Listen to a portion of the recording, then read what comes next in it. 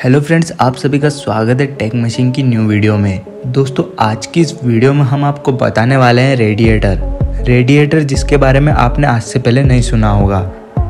Radiator engine को चलाने में वर्क करता है। बिना रेडिएटर के इंजन कुछ भी नहीं है। तो दोस्तों, आज की इस वीडियो को लास्ट तक ज़रूर देखना, क्योंकि आज की इस वीडियो में हम आपको बताने वाले हैं कि रेडिएटर को फैक्ट्री में कैसे बनाया जाता है।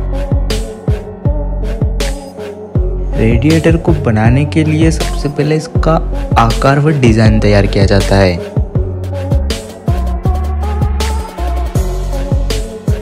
डिज़ाइन तैयार होने के बाद उपयोग में लिए जाने वाले components aluminium plastic granules copper tube solder तार प्लग और अदर इलेक्ट्रॉनिक कंपोनेंट्स को उपयोग में लिया जाता है।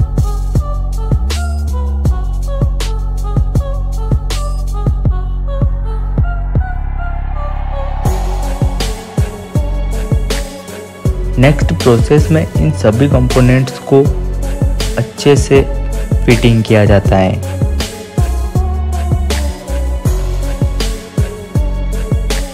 अब रेडिएटर में फिल्टर्स को लगाया जाता है।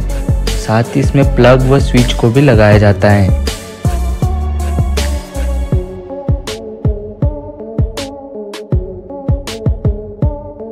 अब इसमें डीजल डालकर चेकिंग किया जाता है। कि सारे कंपोनेंट सही से वर्क कर रहे हैं या नहीं।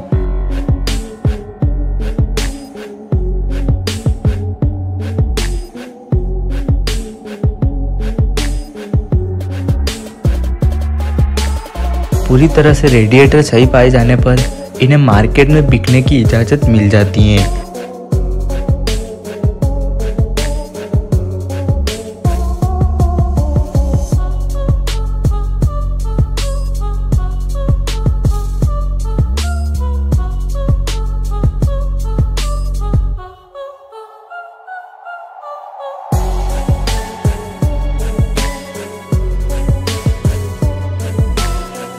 दोस्तों, आप सभी ने देखा कि किस तरह से फैक्ट्री में रेडिएटर को बनाया जाता हूँ।